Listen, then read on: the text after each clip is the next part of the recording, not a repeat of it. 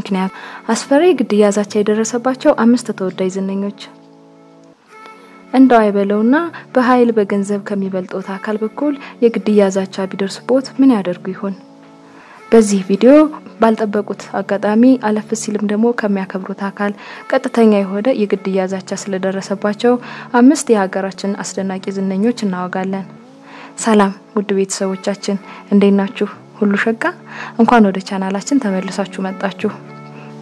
ከግለሰብ እስከ ሰፊው ሕዝብ በሰሩ ስራ ተኮንነው የእንገላችኋለን ዛቻና ማስፈራሪያ ስለደረሰባቸው አምስት ኢትዮጵያውያን ዝነኞች ልናወጋ መጥተናል። እስከ ቪዲዮ ፍጻሜ ድረስ አብራችሁን ቆዩ። ቪዲዮ ከመጀመሩ በፊት ለቻናሉ አዲስ የሆናችሁ ቻናሉን subscribe በማድረግ ቪዲዮ ከተመቾት ደግሞ like ማድረጎን አይርሱ። ይህ የሀበሻ ምርጥ አምስት ነው።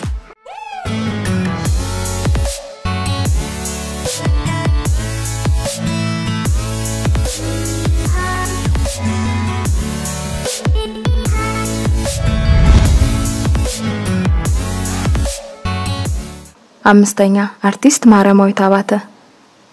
ምናልባት በአንድ አጋጣሚ ቪኤት ስለተሰኘው ጁስ ሰምታችሁ ይሆናል።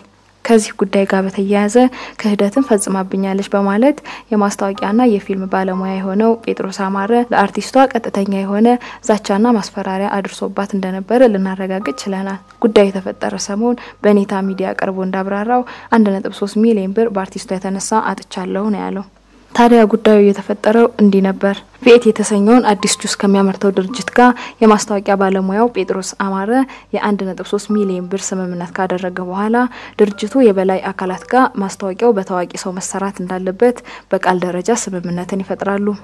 ጴጥሮስም ስለ ዝነኛ ሰው ማሰላሰል ሲጀምር በፍጥነት ወደ አይምሮ የመጣችው የሀገሩ ልጅ ማርያማዊት አባተ ነበረች። ሁለቱም የደብረ ዘይት ልጆች ነበሩና ጴጥሮስ በፍጥነት ጉዳዩን ሊገልጽላት ይቀጥራታል። ቦሌ አካባቢ ተገናኝተው በጉዳዩ ላይ መከሩበት። እሷም በደስታ ስራውን መቀበሏን ነገረችው። ጉዳዩ ግን ከቀናት በኋላ ሌላ መልክ መያዝ ይጀምራል። ምክንያቱም ማርያማዊት ከእሱ ጀርባ በመሄድ ከድርጅቱ ባለቤቶች ጋር ሌላ ስምምነትን በመፍጠር አስቀድሞ ከማስታወቂያ ባለሙያው ጋር ያደረጉትን የአንድ ነጥብ ሶስት ሚሊዮን ብር ስምምነት በመቀነስ ማስታወቂያውን ለመስራት ትስማማለች። የእነዚህ ቻይናውያን ባለሀብቶችን ይሁንታ ለማግኘት ከዝነኝነቷ በላይ በርካታ አስነዋሪ ድርጊቶች መፈጸሟን የተናገረው ጴጥሮስ በጉዳዩና ባጣው ገንዘብ በመበሳጨት የግድያ ዛቻ በተደጋጋሚ እንዲደርሳት ማድረግ መጀመሩ ልናረጋግጥ ችለናል። አራተኛ ቤዛዊት መስፍን ሀገር ጭግ ውስጥ በገባችበትና ጉዳዩን በርካታ ዝነኞች ጆሮ ዳባ ልበስ ብለው እያለፉት በነበረበት ወቅት ጥቂት የሚባሉ ዝነኞች ደግሞ በጀግንነት ለሀገራቸው ሲቆሙ ተመልክተናል። ከነዚህ የቁርጥ ቀን ጀግና ዝነኞች መካከል አርቲስት ቤዛዊት መስፍን አንዷ ነች። ተወልዳ ያደገችው አዲስ አበባ ልደታ አካባቢ ሲሆን ከልጅነቷ አብሯት ባደገው የጥበብ ፍቅር ተመርታ ተወዳጅና ብዙ አድናቂዎችን ያፈራች እንስት ተዋናይ ለመሆን በቅታለች። ዝነኛዋ ከሰራችባቸው በርካታ ፊልሞችና ድራማዎች መካከል ዳና የተሰኘው ተከታታይ የቴሌቪዥን ድራማ፣ ሼፉ ቁጥር ሁለት ፊልም ተጠቃሾች ናቸው። ታዲያ ዝነኛዋ ሀገር በምጥ ላይ ባለችበት በዚህ ወቅት ሁሉን ትታ ወደ ግንባር ልትዘም ትችላለች። በዚህም ከግድያ ዛቻ ጀምሮ ከፍተኛ ችግሮች እየደረሱባት ሲሆን ከሰሞኑ በከፍተኛ ሁኔታ የተቀነባበረ ዝርፊያ እንደተፈጸመባት ሰምተናል። ይህንን እያደረገ ያለው አካል ማንነት በትክክል ባይታወቅም ሀገሬን ሀገሬን በማለቱ የበኩሏን አስተዋጽኦ ለማድረግ በግንባር በመገኘቷ ያስከፉ አካል መሆኑን ግን ለመረዳት ችለናል። ነገር ግን ቤዛዊት እንደ ኢትዮጵያዊ ከኛ የሚጠበቀውን እያደረግን ነው። ከዚህ የከፋ ነገርን ቢገጥመን የበለጠ እንታገላለን እንጂ በጭራሽ የምንቆምበት ምክንያት አይኖርም ስትል ቁርጠኝነቷን አሳይታለች። ዝነኛዋ ከዚህ ቀደምም በጦርነቱ ለተጎዱ ቤተሰቦች ድጋፍ የሚውል የመቶ ሺህ ብር ድጋፍ ማድረጓ ይታወቃል። ያለን ሁሉ ለሀገር ብንሰጥ አይበቃምና ዛሬ ደግሞ ዝነኛዋ በግንባር ተገኝታለች። ሶስተኛ አስቴር በዳኔ ክብር የሌለው ትውልድ ነው ክብር የሚነሳ ስትል ጉዳዩን በምሬት የገለጸችው አርቲስትና ጋዜጠኛ አስቴር በዳኔ ከሰሞኑን አነጋጋሪ የነበረውን የግድያ ዛቻ ማስተናገዷን ልናረጋግጥ ችለናል። ከባንዲራው ጋር በተያያዘ በአንድ ሚዲያ በኩል ቀርባ ባደረገችው ንግግር ብዙዎች ዘንድ የተነቀፈችው ጋዜጠኛዋ አሁን ደግሞ የግድያ ዛቻዎች እየደረሱባት እንደሆነ ለዝግጅት ክፍላችን አረጋግጣለች።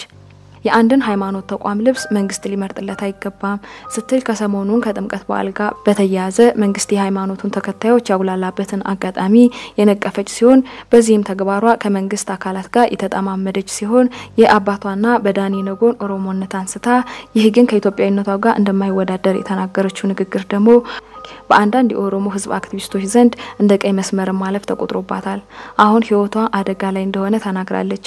በእርግዝናዋ የተናገረችው ንግግር በእጅጉ ለእውነት ቀረብ ያለ ቢሆንም እውነት ግን ብቻዋን አታድንህምና ዝነኛዋ በእውነት አዘል ንግግሯ መቃብር አፋፍ ላይ እንደምትገኝ ልናረጋግጥ ችለናል።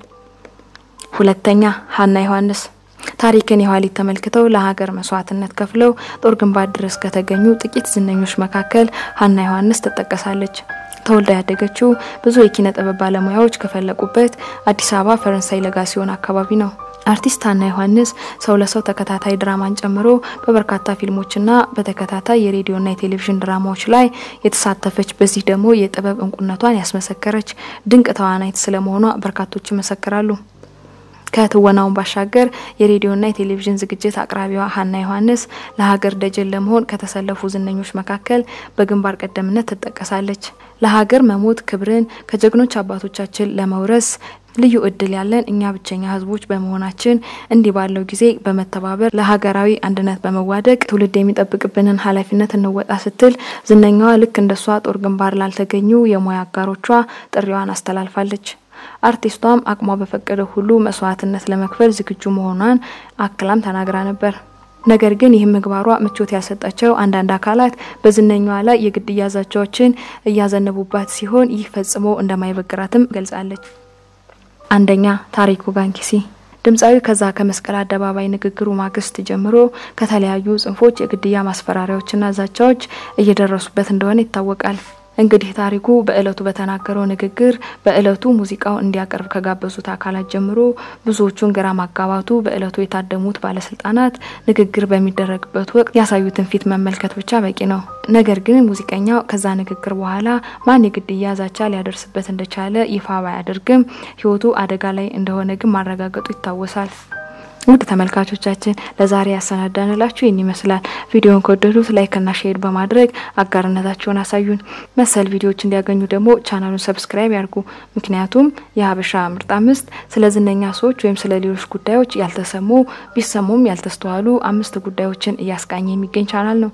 በቀጣይ እንድንሰራላችሁ የምትፈልጉት የዝነኛ ጉዳይ ወይም ሌላ ርዕስ ካለ በአስተያየት መስጫው በኩል ያድርሱን። በቀጣይ ምርጥ ቪዲዮ እስክንገናኝ ደግ ደጉን ከደጋጎች በላይ በጎ በጎን ከበጎች እጥፍ ምርጥ ምርጡን ደግሞ ከምርጦች እኩል ተመኘንላችሁ። ሰላም